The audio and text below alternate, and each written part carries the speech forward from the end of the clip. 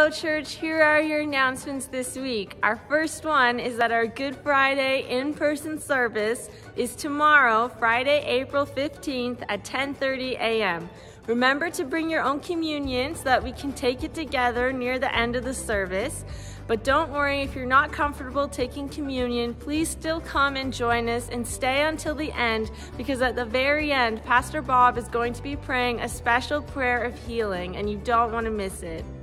On Good Friday evening, all of our students are having a special worship night here at the church. It's from 7 to 8.30 p.m. and it's for the junior highs, youth, young adults, and young professionals. We hope you can join. Our Easter Sunday service is this Sunday, April 17th at 10.30 a.m. It's in person here at the church as usual, and we will also have an Easter egg hunt for all of the kids. If you can't come in person, don't worry, the service will also be live streamed. That's all of our announcements today. We'll hopefully see you tomorrow or Sunday in person or online.